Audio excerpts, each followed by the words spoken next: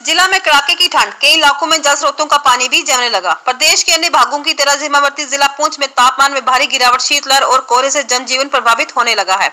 दिन को हल्की धूप निकलने से थोड़ी राहत है, लेकिन सुबह शाम को ठंड का प्रकोप बढ़ जाता है। जिला के दूर दराज पहाड़ी इलाके, लोअर मंडी, सब्ज़ियाँ, बुफलाई देरा गली जैसे ऊँची पहाड़ों वाले स्थानों पर तापमान में भारी गिरावट के चलते लोगों को भारी परेशानी का सामना करना पड़ रहा है। कश्मीर के बाद अब जम्मू के पूंछ ज़िले में भी हाथ पाँव सुन कर देने वाली ठंड शुरू हो गई है। वहीं शीतलहर और कोहरे के कारण प्राकृतिक जल स्रोतों झरनों का पानी जमने लगा है। सुबह के समय सड़कों पर पानी जमने के कारण जहाँ लोगों को पैदल चलना मुश्किल हो रहा है, स्थानीय लोग कोहरे को काट कर रास्ता बनाते फिर आवो जाही शुरू होती है।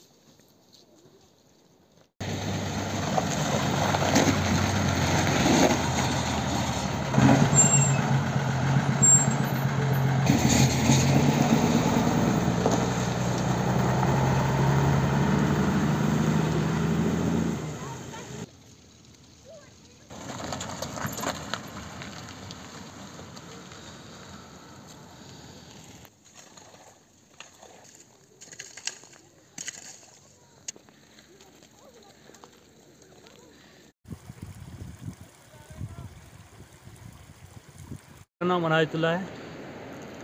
जी, इस साल जो है बारिश या बर्फ़ ना होने की वजह से जो है इस साल बीमारियाँ ज़्यादा फैल रही है। पिछले साल इन दिनों बर्फ़ और बारिश हुई थी और इस साल जो है, मौसम खुश्क होने की वजह से बीमारियाँ ज़्यादा फैल रही हैं। बच्चे और बूढ़े जो हैं, उन जो मैक्सिमम जो हैं, वो बीमार रहते हैं और रास्तों में जो है, वो कोहरा लगा होता है। पाइपें जम जाती हैं, वो डैमेज हो जाती हैं और बच्चों का आना जाना जो है वो रास्तों से जो बहुत मुश्किल हो रहा है। और रोड जो है, रोडों पे भी सर्दी की वजह से कोहरा जम जाता है और गाड़ियों का आना जाना जो सफ़र करना बहुत मुश्किल हो जाता है।